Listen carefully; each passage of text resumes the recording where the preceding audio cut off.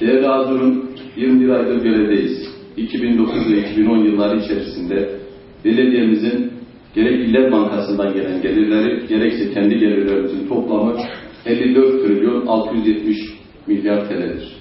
Yani bugünkü e, birime bakarsanız 54 milyon 670 bin TL. Ve giderlerimiz 54 trilyon 497 milyar TL. Burada kalem kalem sizlere açıklamak istiyorum. Özellikle işçi ve memur maaşları 18,5 trilyon tutmuştur. Yine esnaf ve firmalara olan ödememiz 15 trilyon 700 milyar tutmuştur. Halk Bankası'na taksit ödüyoruz, kredi çekmişiz. 3 trilyon 300 milyar. Yine kamu kuruluşlarına yapılan ödeme 8 trilyon 740 milyar TL. Geçmiş yıllara ait işçi memur alacakları, sosyal hakları, esnaf ve müteahhitlere olan ödememizde 8 trilyon 357 milyar lira olmuş.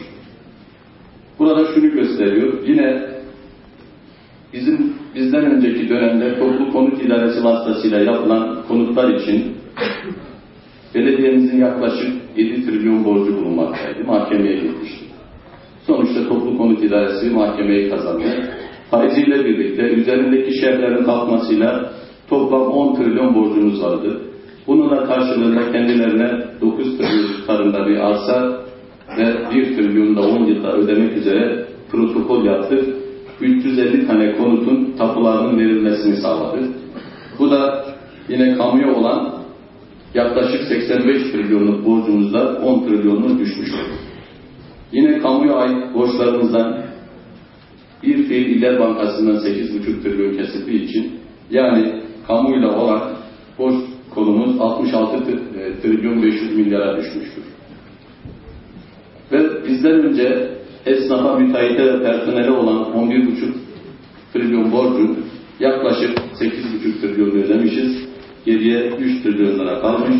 Bizim dönemimizde 2 trilyon borcumuz birikmiş.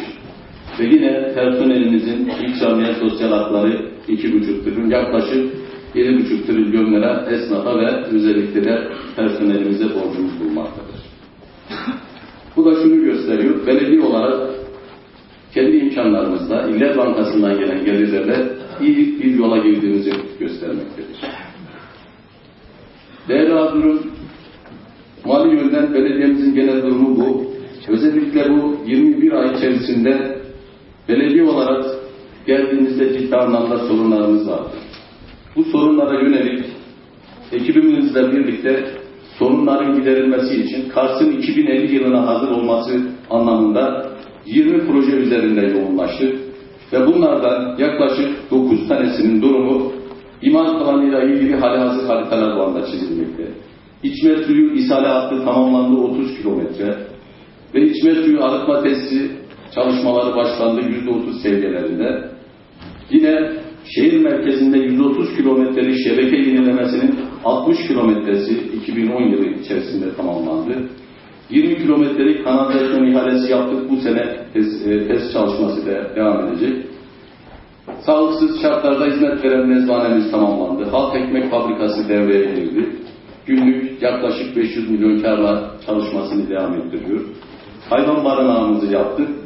Yine Orman Bölge Müdürlüğü ile birlikte Milli Park ve Piknik Alanı projesi %80 seviyelerinde tamamlandı. 2011 yılı içerisinde ve 2012'ye sarkacak işlerimiz içerisinde imar alanı yapılacak.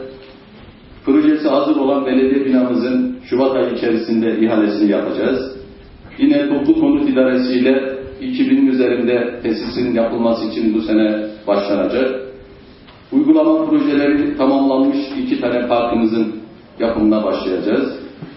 Ve Avrupa Birliği'ne sunmuş olduğumuz atık su arıtma tesisi, kanalizasyon 40 kilometre kanalizasyon şebekesi, 17 kilometre yağmur suyu kanalının ihalesi de yine Avrupa Birliği ilgili delegasyon tarafından bu sene ihalesi gerçekleşecek. Katı atık ayrıştırma tesisinin yaklaşık 4 trilyon ödeneği sağlandı, bu sene tamamlanacak. Cadde ve sokaklarda 25 kilometre asfalt yapacağız. Bu sene 12 kilometrelik kısmı tamamlanmış olacak. Ve önemli projelerimizden birisi de hayvan pazarı. Hayvan pazarı projemiz tamamlandı. Şubat ayı içerisinde ihaleye çıkacağız. 2011 yılı sonunda da devreye almış olacağız. Yine devam etmekte olan modern mezarlık, asli mezarlık projemiz bu sene sonuçlanmış olacak. Bayrampaşa ve Bülbül derelerinin istiharı bu sene bunlardan Bülbül Deresi'nin istiharını bitirmiş olacağız. Özellikle yaklaşık bir aydan beri Başbakanımız Türkiye genelinde programlar yapıyor ama özellikle Doğu- bu arada Doğu Anadolu'da çok büyük programlar yaptı. Gündem öyledir. Şu anda 12. bölümü alıyoruz. Ee, Dilek ve Temelli bölümünde söz almak isteyen arkadaşlarımız var mı?